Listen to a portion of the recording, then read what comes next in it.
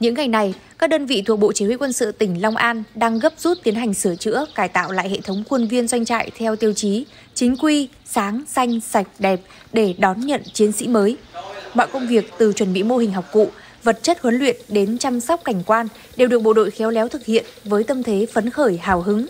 Đây là những tình cảm ấm áp mà cán bộ chiến sĩ tiểu đoàn 1, trung đoàn 738, Bộ Chỉ huy Quân sự tỉnh Long An dành cho những người em tân binh.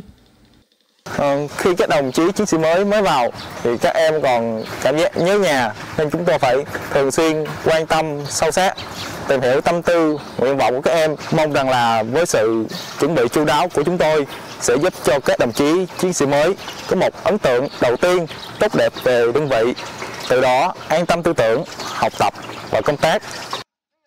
Xác định đội ngũ cán bộ là khâu then chốt nâng cao chất lượng huấn luyện chiến sĩ mới. Do vậy, bên cạnh việc lựa chọn kỹ cán bộ, đơn vị còn tổ chức tập huấn, thống nhất phương pháp, nội dung huấn luyện, tập trung bồi dưỡng cả về lý luận và thực tiễn, lấy thực hành làm chính, rèn luyện đội mẫu để thị phạm trong từng động tác, giúp bộ đội dễ hiểu, dễ tiếp thu. Bên cạnh đó, chú trọng bồi dưỡng nâng cao trình độ lý luận chính trị, tư tưởng cho bộ đội, kịp thời chia sẻ, động viên để chiến sĩ mới khắc phục được những khó khăn, bỡ ngỡ ban đầu, ổn định tâm lý, tư tưởng, hoàn thành tốt nhiệm vụ.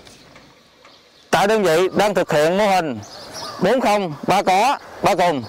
40 đó là không phân biệt không quân quân thiệt không áp đặt không làm trái quy định. Ba có là có tình có lý có trách nhiệm. Ba cùng đó là cùng chia sẻ cùng lắng nghe cùng thấu hiểu đồng thời tại đơn vị cũng tiến hành thành lập các nhóm zalo gia đình ở cấp trung đội.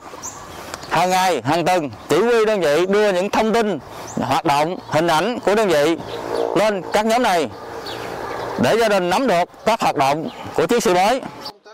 Nhằm bảo đảm sức khỏe giúp chiến sĩ mới an tâm phấn khởi học tập rèn luyện tốt ngay từ những ngày đầu đơn vị tăng cường tuyên truyền các biện pháp phòng chống dịch COVID-19 qua hệ thống truyền thanh nội bộ, dán tờ rơi ở các khu vực công cộng và nhà ở, đồng thời đẩy mạnh tăng gia sản xuất,